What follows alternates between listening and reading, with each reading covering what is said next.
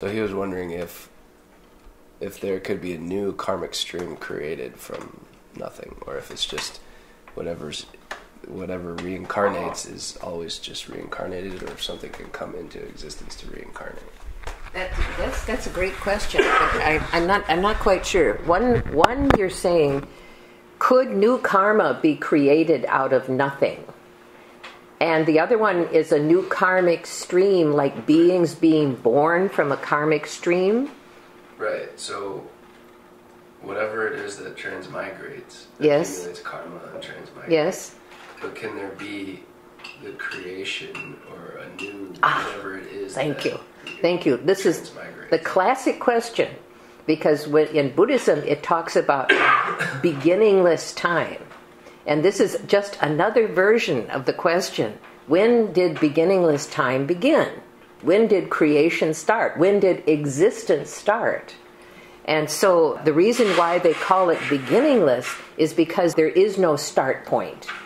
There is no start point. So that's that's the short answer of that. However, for example, that there are many environmental beings, many environmental beings, uh, seen and unseen. Let's say an insect or uh, a tiger uh, that that fill the uh, various niches of environmental uh, net needs in order to sustain this world. Birds, worms, all of these, everything here, which on a physical level needs to be here in order for this world to sustain. It just it isn't just sustained out of the hope that it sustains. That there is actually a, a biological uh, process. This biological process is not a karmic. It's not a karmic uh, birth for a worm or a bird or even a tiger. However, the reason why I mentioned tigers is because I went to Hawaii and I was very lucky. I was given a backstage tour of the zoo. Uh, one of the apes had been behaving oddly, and this zookeeper was hoping that I would be able to talk to it or look at it or whatever they thought, whatever I could do to find out what's wrong with this ape. So, aside from that, that uh, which was an interesting story also, that they have uh, several uh, tigers.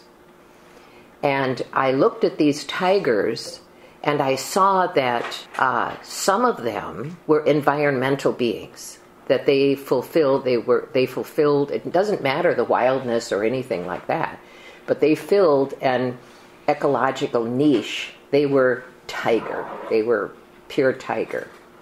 However two of the tigers were had become evolutionary beings that they were no longer environmental beings something shifted inside.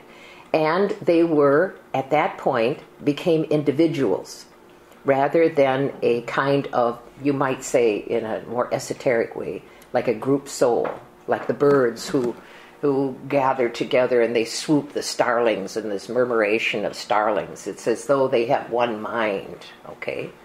And so these tigers became a karmic stream so that's the medium answer that it is possible for an for an environmental being to become an evolutionary being.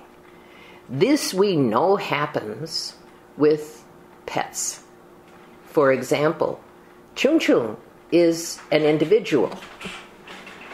She is an individual. She has an environmental. Uh, she has a evolutionary, and which is why, for example, uh, traditionally they say that you pray that your animal takes human birth, but they never really say how exactly does that happen.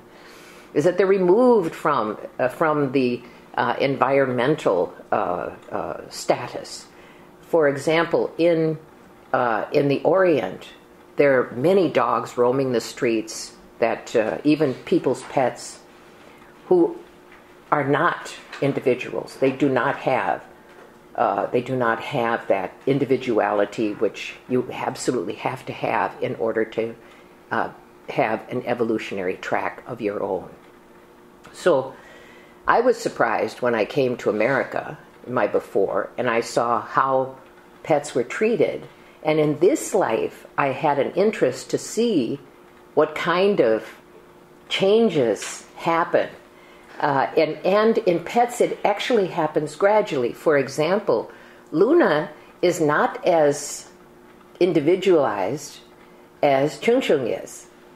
Uh, although she does have some of that, she does have some of that. But whatever that shift is, she does not have.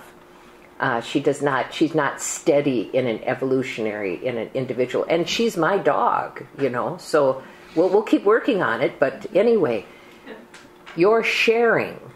This is the long answer.